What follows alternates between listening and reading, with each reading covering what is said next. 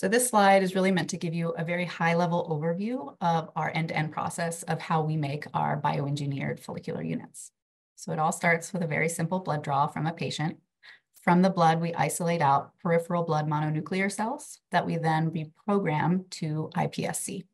We're not innovating on this step. We're just leveraging industry standard protocols. Right now it's Sendai virus, but mRNA techniques are looking really promising.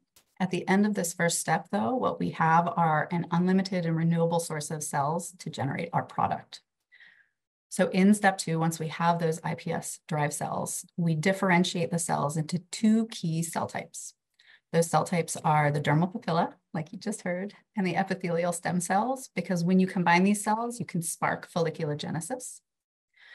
And so then once we have those two cell types, we combine and culture our cells, and we can either do this in 3D in an in vitro environment where the cells self-assemble and form little hair follicle organoids. And this is really important for us to be able to monitor and investigate the process of folliculogenesis so we can optimize our cell types for their greatest potential. But what we can also do with those two cell types is bioprint them into individual follicular units that then in the fourth step, we can transplant into the patient. Right now we're transplanting into our preclinical models. But for the patient, we envision leveraging the use of robotic delivery systems for the thousands of units that people will want transplanted. And this will be performed by a cosmetic surgeon or a dermatologist. So that's our product concept and the kind of end-to-end -end process. Where the company is focused right now is on steps two and three. So I'll give a little bit more information about those steps. So our brilliant scientists derived protocols for generating our cell types. To generate our dermal papillas from induced pluripotent stem cells, we first have to go through an intermediate cell type. That's the neural crest cell.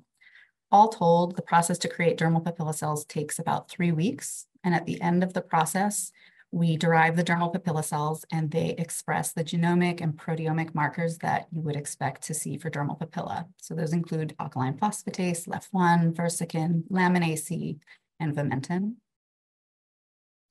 We do the same thing for our epithelial stem cells. So we have a protocol for deriving those as well. And so it starts out with an eight day differentiation process that derives immature epithelial stem cells. And so after that, we successively passage the cells in order to enrich and expand for those epithelial stem cells. And so at the end, we see expression of key markers like keratin 15, 19, and 14. And we can leverage the use of different sequencing methods uh, to understand the genomic identity changes of the cells as they're undergoing these differentiation procedures. So what you can see on the right side is a PCA of um, bulk sequencing of our cells throughout the epithelial stem cell differentiation process. On the far right, we have our induced pluripotent stem cells that are mapped in.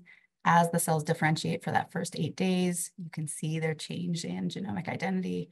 And then as they are successfully passaged, they kind of sweep around in this lovely arc that's getting closer to our control or reference cells. They're not quite there yet. And this is where a lot of our research is being focused, is ensuring that we're closing the identity gap between our iPS-derived cells and our reference cells so that we have the best performance possible for our product.